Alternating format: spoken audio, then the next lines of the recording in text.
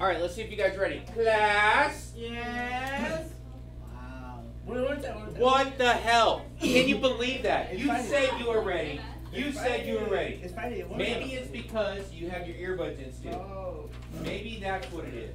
Do it time, You're not ready. Do it time. You're not ready. You, Do you it one messed it up. You messed it up. No Christmas for you. That's it. Okay? You stupid. You stupider.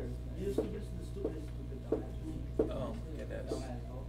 This is the reason why I cannot monetize this class anymore. Oh, Okay. you're recording. Determining what you can afford. Go ahead. Determining what you can afford. Okay, spend no more than 20%, 28% of your gross monthly income on your mortgage payment. Now, what's the definition of gross? Disgusting, nasty. Not Brandon. On tax. Before tax, right? Okay, so before tax, that's gross, right? So no more than 28% of your gross monthly income for your mortgage payment. Spend no more than 36% of your gross monthly income for your total monthly debt, including mortgage payments, car payments, credit card bills, student loans, medical debt. Those are like reoccurring debts. Well, I can have nice things. Anyway, so given that information right there, all of those reoccurring debts you can't because you have to live off of everything that's left over. That would be your food, okay, your water bill. Okay, you guys move out of your parents' house. Guess what? You have to pay like electricity and water. Then you turn into your dad and start yelling and be like, "Who let the lights on?" Okay, every single time because when you see that four hundred fifty dollar APS bill That that expensive? Damn. or more, Damn. Okay, back when I first moved to Phoenix, uh, that was 12 years ago.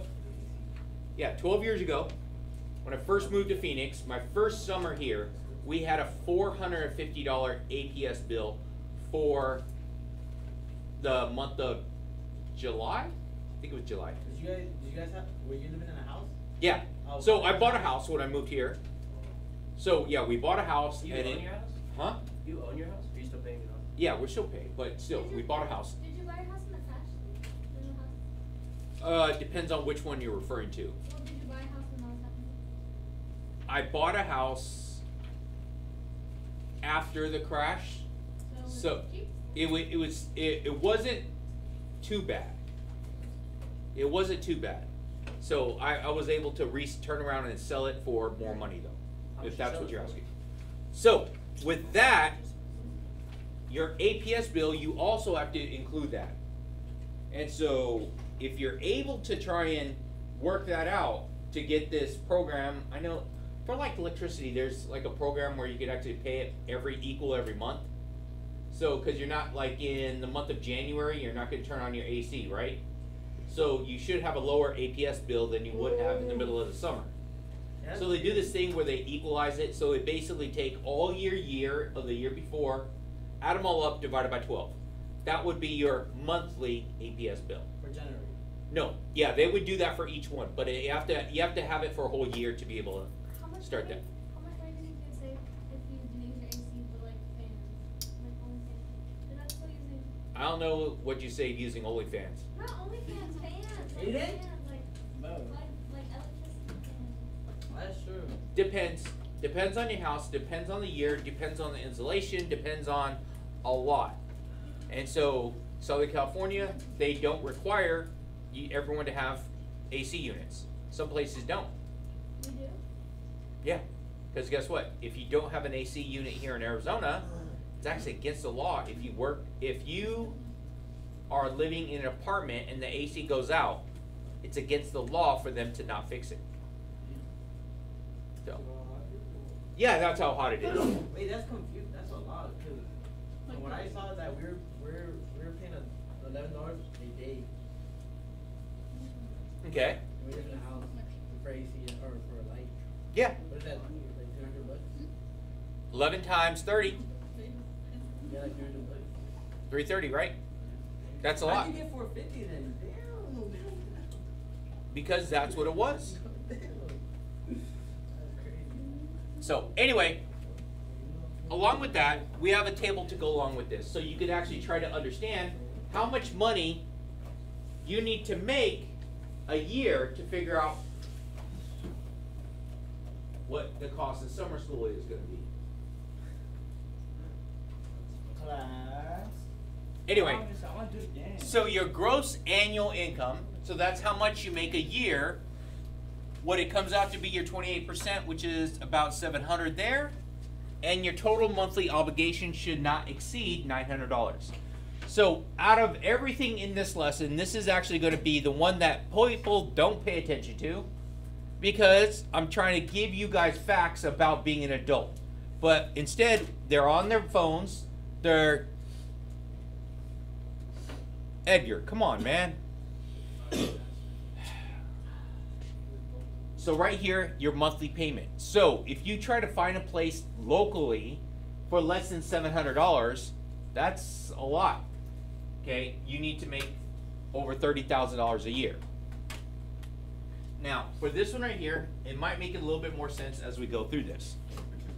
Suppose your gross annual income is forty-five thousand. So that means that's for the whole year, right? The gross annual means how much you make for the entire year. What's the max amount you should spend each month on a mortgage? Okay, I got a conflict right here. This is an annual, so it's a whole year, but I only want to figure out per month. What do you think I should do with that? Divide by 12. Yep, let's do that. So 45,000 divided by 12.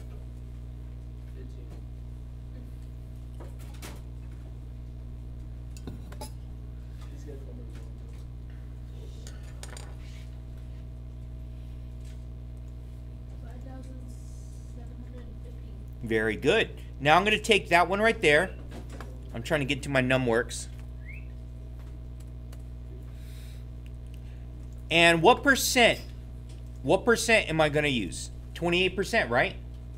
So it was my 45,000 divided by 12 is my monthly. And then I'm going to take that and I'm going to multiply times my 0.28. There's my 28%. It's almost like I'm giving you the stuff in the notes that you might want to. Yes. Um, twenty-eight percent. Remember, if you turn the twenty-eight percent into a decimal, you move it over twice, right? So it's going to give you your 0.28. So I have, was it 1050?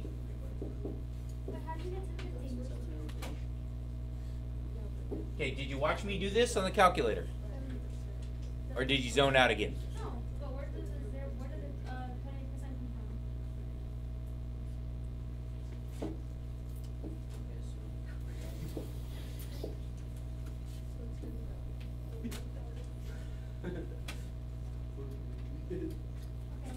Okay, Okay, and guess what the next percentage I'm gonna use is gonna be? zero point thirty-six. Yeah, I'm gonna use thirty-six for the next one, right? So that's where these percentages are coming from. And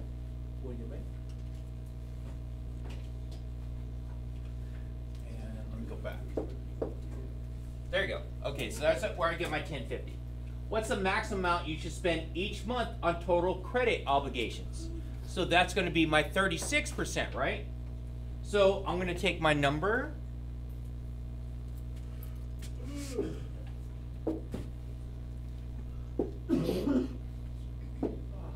and times 36 or 0.36 so my total obligation so your total everything recurring debt that you have each month should not exceed 13 four, thir, bleh, 1350 How much money you pay? What's your monthly payment, right? That's what I just that's all your obligations that's your car payment and everything Monthly? heard. Uh, I think that's what. Every month. So it says right here, spend no more than thirty percent of your gross monthly income on your, for your total monthly debt, including mortgage, car payments, credit card bills, student loans, medical debt. So if you max out your mortgage, that doesn't leave very much left over to pay for credit card and all that other debt that you have. Why would you put yourself in that situation? What is health then? Like if you- What? Health then.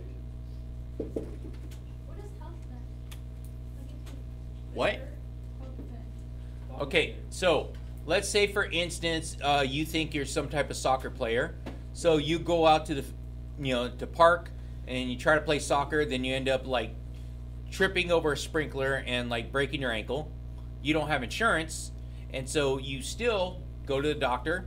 They put your foot in a cast, and then you're gonna have to make monthly payments to pay back that doctor. So that's what that is. If your monthly mortgage is 80% of the maximum amount you can afford, what is the max amount you should spend each month for all other debt? Now, this one right here is going to be important. So, I'm going to take this right here, my 1050. Nope. I have to find 80%. So, instead of instead of maxing out how much I can spend on my mortgage, I'm going to use less. So, I'm going to take my 1050 and I'm going to multiply by 80%, which is 0.80, right? Yes. Yep. So that means that my monthly mortgage is only 840. So my monthly mortgage is 840 now. And let's find the difference between my new monthly mortgage and what I'm allowed to spend on reoccurring debt. So if I have a lower house payment, that means I could have a larger car payment. So I could afford a better car payment. So I'm going to take my 1350 minus my 840 and I get 510. So that means that including in my debt, I can now afford that. So I can afford 510 each month. And that would be my credit cards and all my other stuff to go along with it or car payment. Okay? Does that make sense? So right now, here in America, I think average, the average adult carries about thirty thousand dollars of debt in some way, shape, or form. Average? Average. Yeah, I have debt. Yeah, Mr. Yin there. Not that one. Wait. Okay, never mind. So round out computation to the nearest dollar. And so towards the end, at the end of this, I will actually bring it up so you guys can see what the actual na- national average is right now. Can you go back to the one of What for? those, like the first- Okay. All right, make it quick because we got to do the rest. Uh, Cause I'm assuming that day is not from one thing, right? It's from multiple things. Yeah, multiple things. So how would you like, how can you say like I have this much of debt? Like how do you know? Okay, so I currently have uh, at least ten thousand dollars in debt because I have a car payment. Oh, yeah. Okay, so reoccurring debt. That's one of them. And you just paid it monthly.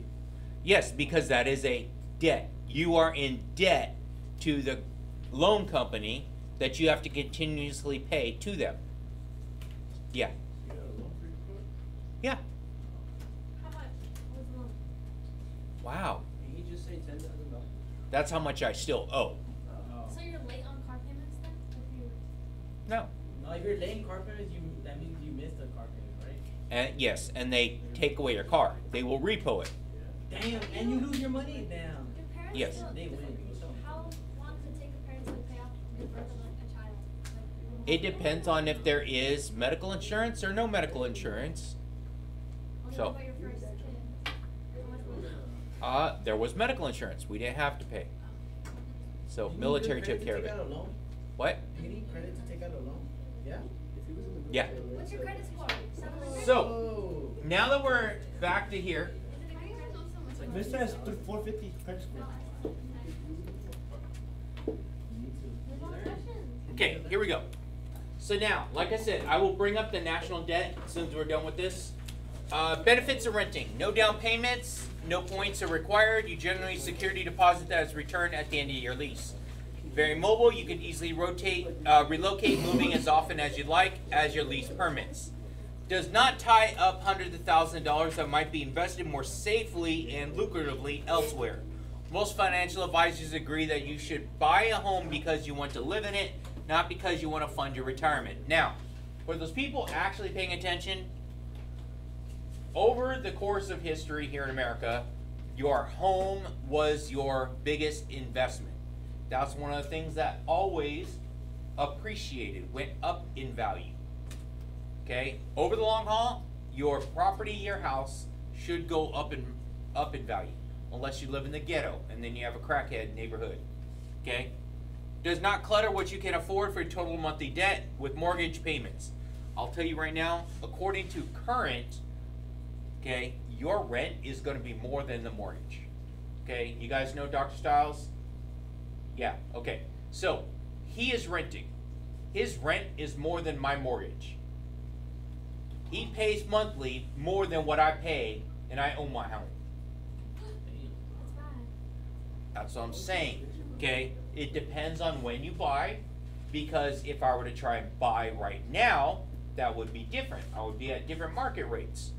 But since I bought a while ago, I still make the same monthly payments. So I'm good to go. I have a fixed monthly payment. So even though that everyone's rents go way up, my mortgage stays same the whole time. So the longer I keep it, the better it is, especially with the cost the cost of inflation. So the people who bought houses during the during, during the crash, the house market, After the crash, their mortgages are super low. yes, Like after the crash. So people who have houses since then. have Since then, okay, they are better, better invested. So they could probably turn around and sell their house. So let's say, for instance, I bought mine, my house for two hundred thousand in twenty twenty. Right? Yeah. That's really Okay, it is currently. I think my neighbor sold his house for six hundred thousand. Damn. How much did you sell? That's fire. I haven't sold mine yet. That's Are you gonna sell it? Would you sell it? But still, the point is, if you buy low in the market, then hold on to it, live in it, most property and land appreciate. That means goes up in value.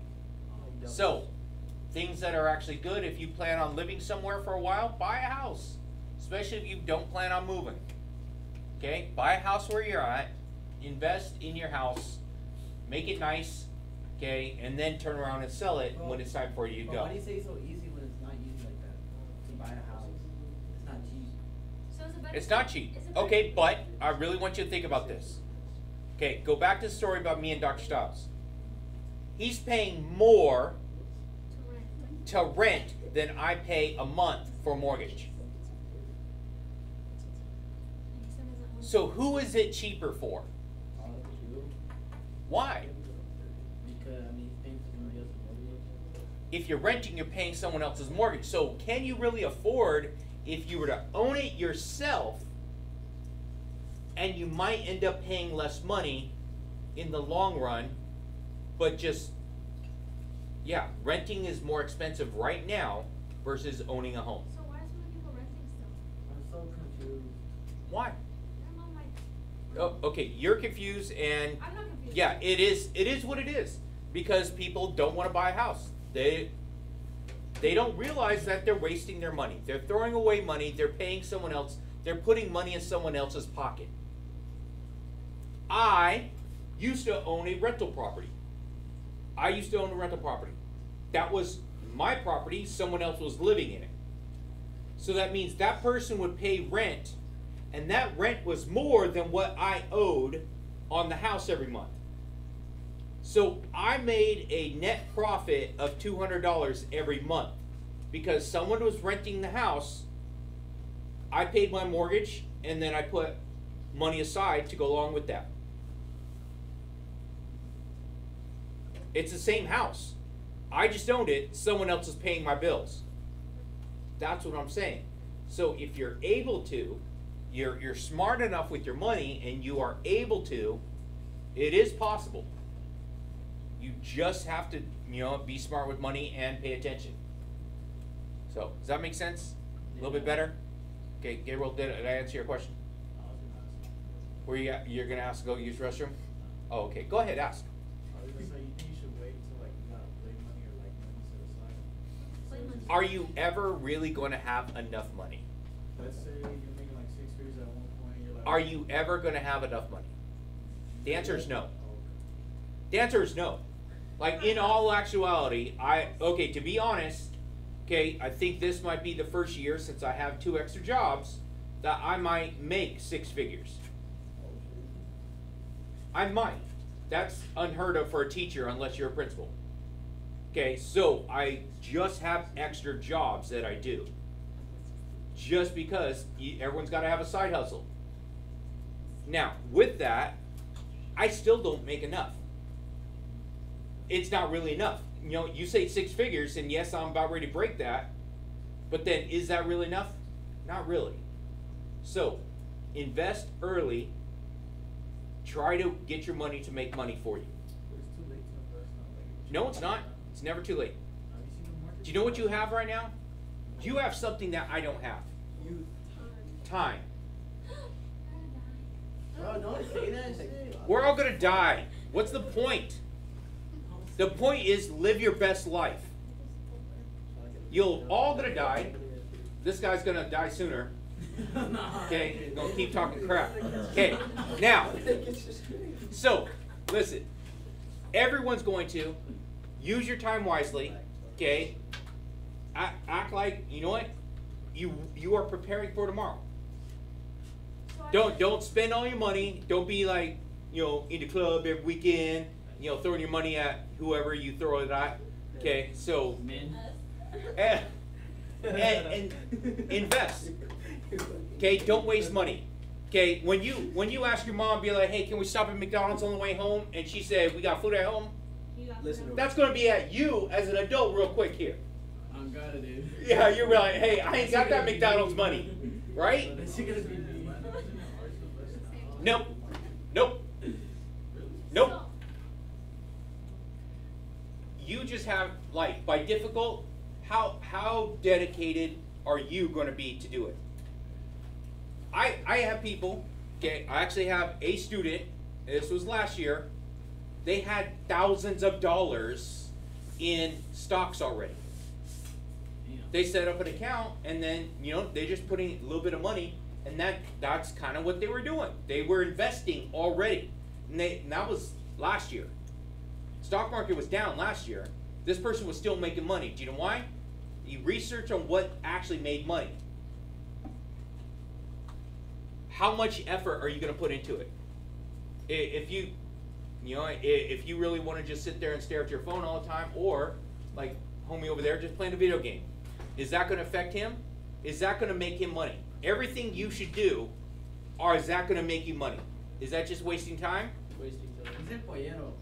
When you invest in stocks, do you pull it out when it's high, or do you just leave stocks? Do you leave your investment in there? Okay, so now we're actually going to do stocks next unit, oh, Especially but I will tell you right now, okay, don't pull it out. Do you know how rich people stay rich? By looking in for there. touch your money. Don't pull it out. So there is two people. They actually had two people. Two of actually one of the one of the, the most richest financial advisors here in America. Okay. Trump. Okay. No. No. Anyway, so what he does, he says he pays less taxes than his secretary. His secretary makes 80 grand a year. So the person that works for him makes 80 grand a year. He pays less taxes than she does. Because all 100% of his money goes towards investment. And so the only time you actually get charged taxes is when you pull out of your investment. Oh, so you keep it in there. Just keep it in there, right? And you only pay out taxes when it benefits you. So you you don't like waste all your money, just leave it in there. Will it- Let your let your money make money for you. Will it affect you if you put it in? No. Like tax wise. Nope. Oh, okay. So only. De- depend depends on how you did it. So remember when we talked about IRAs, Mhm. okay, and we actually had talk about pre-tax and post-tax. So if you do it before taxes, they take a big chunk out of it afterwards. Oh, okay. But if you put it in after taxes, they don't tax that afterwards. Whatever you pull out. So making money, this person just keeps making money. So he only owed zero dollars in taxes the previous year because he didn't make any money. All his money went into investment. he didn't pull it out. Yes, that guy. I have a question about the taxes. So you know how like when you're applying for the job, they put like uh, how much you want to be out like. still- Yeah, we're we're gonna do that one. We're gonna do that one next week, and that that's gonna be our W four form. Okay. Was she, was she, uh, uh, They take out a an eighteen year lot. old put on their tax return? Okay, so we again we will talk about that next week. So, continue with this right here. So, did, did I answer everyone's question on the investment part? Because we're gonna do more of that when we actually do some of this stuff. And I'm gonna let you guys. I'm gonna give you guys the opportunity to show you a way to start doing some investment if you want to. So instead of actually going to the McDonald's and paying twenty five dollars, or getting that Uber Eats which costs sixty five dollars for that you know that six piece nugget, okay? I ain't got enough. Take your money, do something different with it. Anyway, benefits of renting. Okay, if you don't have to worry about it, there we go. They say it's going to be more mon- lower monthly payments. So according to this, this was actually written in 2021. As of right now, it does not it does not fit the same model. But we'll talk more of that when we talk about our financial project, which is all going to be current models. Okay, uh, all this stuff, bam, good. Okay, benefits of home homeownership. Peace of mind provides significant, significant tax advantage, including deduction from mortgage interest and property taxes. There's no change of rent increasing over time, allows freedom to remodel, landscape, and redecorate. You can build up equity, the difference between a home's value and what you owe in the mortgage as the mortgage is paid off. Possibility of home appreciation is potential source of cash in the form of equity loans. Don't take out an equity loan because that's basically not good. Don't do that. Anyway, now I'm going to leave you guys here. I'm going to want you guys to have the rest of the time to actually work on your homework. Okay, if you have any questions, get to work. Anyway, yeah. Did you, did you, No, I try not to listen to them.